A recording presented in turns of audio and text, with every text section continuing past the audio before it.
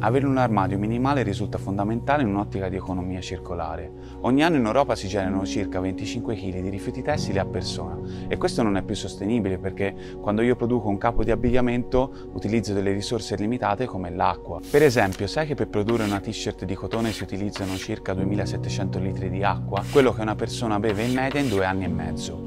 Inoltre ci troviamo spesso a comprare capi prodotti con obsolescenza programmata, cioè progettati per essere indossati due o tre volte e poi essere gettati in un cestino. Pensa che se la vita di un capo si allungasse di 9 mesi, ci sarebbe un risparmio del consumo di acqua e di CO2 di circa il 30% per ogni capo.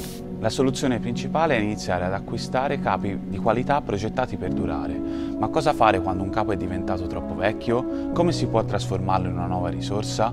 La prima cosa è chiedersi, posso riutilizzarlo oppure posso donarlo a qualcuno che lo apprezzi davvero? Ci sono molti modi semplici per regalare o rivendere i tuoi vestiti. Li puoi vendere online, li puoi portare ai mercatini dell'usato oppure semplicemente puoi organizzare uno swap party con i tuoi amici. Basta scegliere. Se invece la loro vita è proprio finita, li puoi riciclare, li puoi portare ai cassonetti urbani dove vengono differenziati in base alla loro qualità. Possono essere riciclati per lo più a scopi industriali, riutilizzati portati nei paesi in via di sviluppo oppure smaltiti in discarica. Se invece vuoi essere sicuro al 100% di dove finiscono i tuoi vestiti, puoi utilizzare i nostri servizi di raccolta. Come Rifo stiamo cercando di fare una rivoluzione. In collaborazione con Natura Sì, Pinori Filati, Recuper e altri cinciaioli pratesi, stiamo cercando di trasformare quello che di solito viene considerato un rifiuto in una nuova risorsa. Al momento abbiamo attivi due servizi di raccolta, uno che riguarda i capi 100% cashmere e uno che riguarda i vecchi jeans.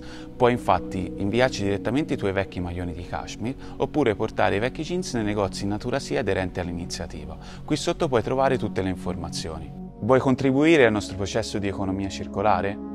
Condividi questo video e partecipa alla nostra raccolta.